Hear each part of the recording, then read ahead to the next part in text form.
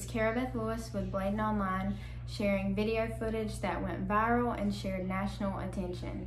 These videos were taken by Bladen County native and lead singer of the local band 87 and Pine, Brent Underwood. You out. Got some sense, Bitch, I'm definitely motherfucking saying, let's talk to me like you got some sense. You lose your little job. She stopped me. I did. She said, I did. I did. I still got my headphones. I don't want nobody talking to me. Just let it go. It ain't even no problem. You get on, so it's good. They better not stop this fight at this point. Exactly, because everybody frustrated by this side. Right. And if you for hours. Right. And then we had to have all these things for hours. Right. We tired of them. And ladies and gentlemen, just a uh, announcement that I need to make, and I need everyone to pay me attention right now. I will understand that the delays are frustrating. This is not something that we can control. But one of the things that I will not tolerate is disrespect to any of my flight attendants. Uh, you will, we will go back to the gate, and you will get arrested if you disrespect any of my flight attendants on board. So when we tell you to put your mask on over your mask, which is a federal mask mandate, you need to comply. Once again, I will not tolerate any disrespect to any of my flight attendants. This is a 30-minute flight down to Charlotte, but I will be happy to go back to the gate and leave you with the cops right here in Raleigh. They show, they always have to leave you with the police. And I do not care. He shouldn't have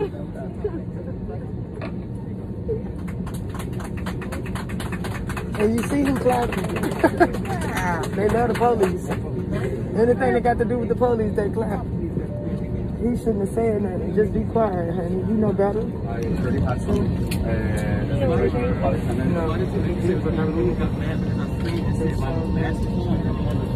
I am not. My mask is on. What do you want me to do? Okay. I need, well, the first thing that I need to do is listen to me. I'm listening. I'm Because I have two options. I have one option to just go to the gate and remove you. I'm happy to do that. But I'm also very happy to go to Charlotte and get you to Charlotte and not to your final Okay, well, destination. I'm asking. So I need you to just, I need you to not to fight. I need you to just be quiet for the rest of the flight. That we can just, let's have a good flight. Okay, it's been a very long day for you. It's been a long day for all of us.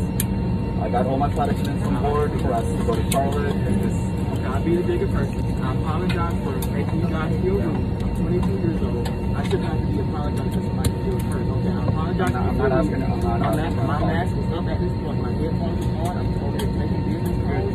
I would really like to get up to it. and I'm happy to do that. Thank you. All right. entire flight. I worked my butt off this entire flight to be called a drama queen. We're going back to the gate. No, oh, no, don't be hurt. I'm sorry. We're sorry. They didn't mean it. They really didn't mean it. It's the hunger talking. They're not themselves when they're hungry. That you guys have given the flight attendants.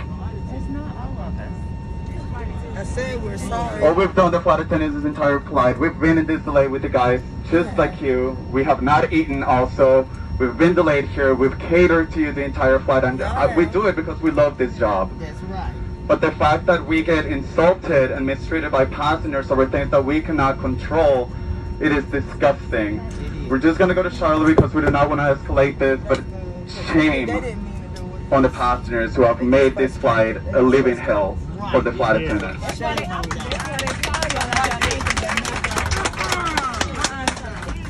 He just said it again. No, he didn't like that.